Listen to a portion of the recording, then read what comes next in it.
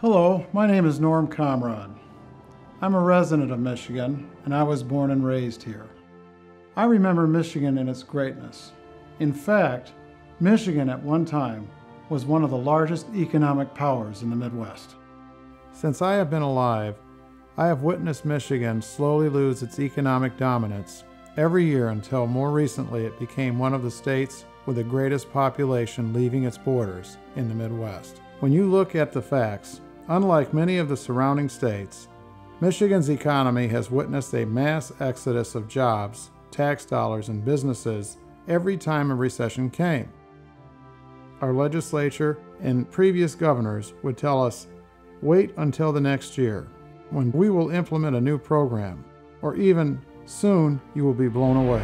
And in five years, you're going to be blown away. It's constitutional fact that when Michigan first started as a state, its founders set our legislator's schedule to serve only as a part-time legislature and not a full-time legislature. This is because they knew that when more government is introduced, bad governance is its result.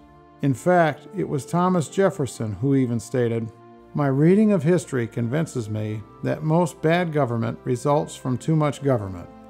In 1963, Michigan's legislature became a full-time legislature by amendment of its constitution, and at that time it adopted its State Officers Compensation Commission, or the SOCC. At that time, prior to the adoption of that committee, Michigan's legislators as a part-time legislator was making $3,000 a year.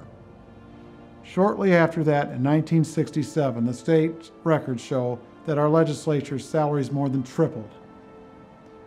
The problem is, is today our legislators only serve for 120 days of that year. That means they're still there, for the most part, part-time. And yet they're receiving more than $80,000 in salaries. In fact, our legislators' pay continued to increase right through our most recent recession while their very own citizens of Michigan, who they claim to represent, were taking job cuts, salary cuts, losses of family homes and farms, and other economic hardships. This is why George Bernard Shaw once wrote, A government with the policy to rob Peter to pay Paul can be assured of the support of Paul. History has now shown that our legislature cannot solve our economic problems. Former President Ronald Reagan even acknowledged this when he said, Government is not the solution to our problem. Government is the problem. Michigan's government and its institution needs an enema. This is why today I am proposing to correct history and upright our great ship of state and return it to its roots by giving you the opportunity to vote for a part-time legislature. Our legislature has already chosen not to give you this choice as recent as within the last two years, because they have an economic interest in its defeat, which is obviously their income and benefits. But to do this, we will need to gather over 360,000 signatures, and we will need the help of every citizen to do this. The end result will be the restoration of our former Constitution in all of its glory, and once and for all, taking the word career out of Michigan's politics and replacing pure Michigan with pure public service. But to do this, we must want this as a people and not as party members. Join with me and let's together realize this dream and bring back Michigan to its former greatness. We, the people of Michigan, are its rulers, and together we can once again see our prosperity and financial gain realized. But we must do this together because our legislature refuses to do it for us.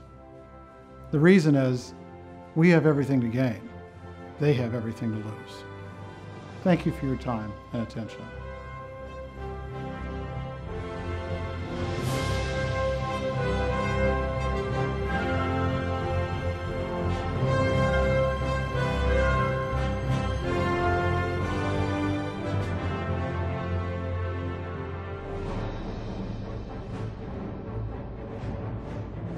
It's really great being here at the uh, Tea Party powwow. Let me tell you why. These people are fiscal, moral, and constitutional conservatives. And what I like about it most is these people know they need to change America for the better, and they're going to do it. And they're involved, and they're interested in making the change, and it's not the change Obama said. So I would just want to encourage everybody out there stay involved, become a precinct delegate, do what you have to do, run for office, hold your people accountable that said they were going to be fiscal, moral, constitutional conservatives. And if they're not, get somebody else to run. Hang in there, we can do better.